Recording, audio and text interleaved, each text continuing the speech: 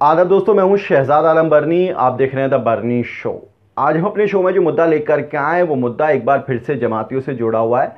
लगातार जमात की खबरें अभी भी बंद नहीं हो पा रही हैं। मार्च के महीने में जब कोरोना की शुरुआत गंभीरता से शुरू हुई तो आरोप लगा कि तबलीगी जमात के लोगों ने देश के अंदर कोरोना फैलाया है।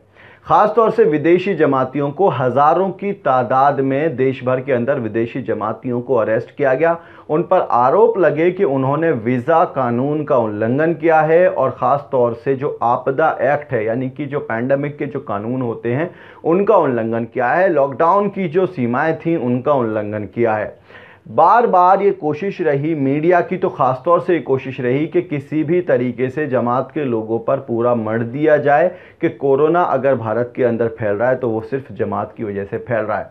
अब वो लोग जो जमाती जेलों में बंद थे, उनके लगातार केसेस कोर्ट में आ रहे हैं। कोर्ट उन पर अपने फैसले सुना रही है।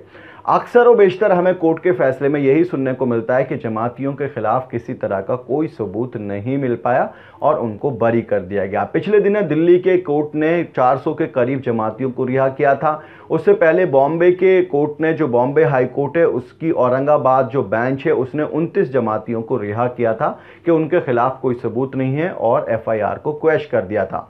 अब एक बार फिर से बॉम्बे हाई कोर्ट में सुनवाई हुई, जिसमें म्यांमार के आठ विदेशी जमातियों का केस पर सुनवाई की गई।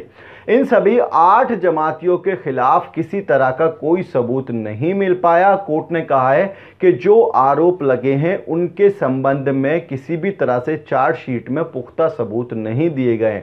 और ख़ास तौर से इस बात का तो कोई सबूत कहीं पर नहीं मिलता है कि विदेशी जमातियों ने, जो कि म्यांमार के आठ विदेशी जमाती हैं, इन्होंने किसी भी तरह से आपदा एक्ट का उल्लंघन किया है, वीज़ा कानून का उल्लंघन किया है, या इन्होंने जानबूझ करके किसी भी तरीके से कोरोना को फैलाने की कोशिश की है। अब सवाल ये बनता है कि बॉम्बे हाई कोर्ट ने इन आठ लोगों के खिलाफ जो चार्जेस थे, उनको क्वेश कर दिया है एफआईआर को क्वेश कर दिया है, लेकिन बड़ा सवाल ये बनता है कि जिन जमातियों को पकड़ा था पुलिस ने। और अब जाकर के पता चल रहा है कि उनकी कोई गलती नहीं थी तो क्या उन अधिकारियों पर भी कोई कार्रवाई होगी? जिन लोगों ने जानबूझ करके जमात के लोगों को बिना वजह परेशान किया और टारगेट करके लोगों को अरेस्ट किया गया। आपको क्या लगता है कि क्या ये सिलसिला ऐसे ही जारी रहेगा? जमाती पकड़े जाएँगे, उसके बाद कोर्ट में पहुँचेंगे, कोर्ट से बरी हो जाएँगे, क्योंकि इस तरह की कई सारी खबरें अभी तक इकट्ठा हो चुकी हैं कि पहले जो है जमातियों को पकड़ा जाता है, पुलिस उन पर आरोप लगाती है, कुछ दिन जेल में रहते हैं, उसके बाद कोर्ट में मामला जाता है, कोर्ट क्वैश कर देता है, बाइज्जत बरी कर दिए जाते हैं।